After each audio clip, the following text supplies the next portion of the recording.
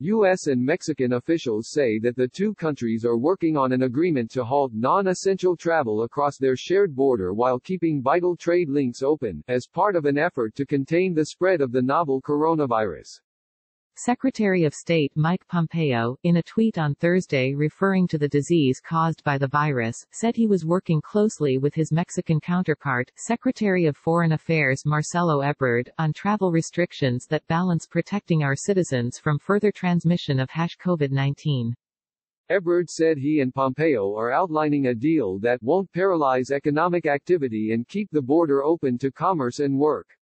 The agreement under consideration appears to be similar to one that was reached on Wednesday between the U.S. and Canada, sealing off their border to non-essential crossings to limit the entry and exit of potentially infected individuals. Paola Avila, the chair of the Border Trade Alliance, a business group, was quoted by the Associated Press as saying that business leaders on Thursday were briefed by U.S. Customs and Border Protection officials on the move, saying it would halt all tourist-related and other non-essential travel over the border. Avila told the news agency that essential workers from Mexico, including farm workers, employees of restaurants and grocery stores and bus drivers, would be exempt under the agreement.